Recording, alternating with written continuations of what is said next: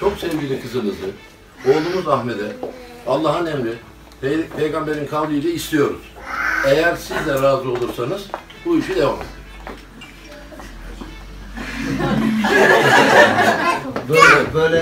Böyle pasörlük olmaz. yani şimdi e, hakikaten e, artık Allah hepsini mutlu etsin. Cümleten.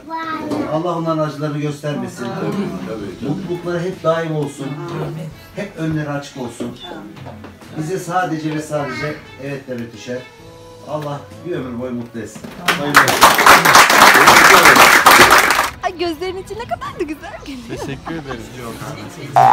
Nasılmış?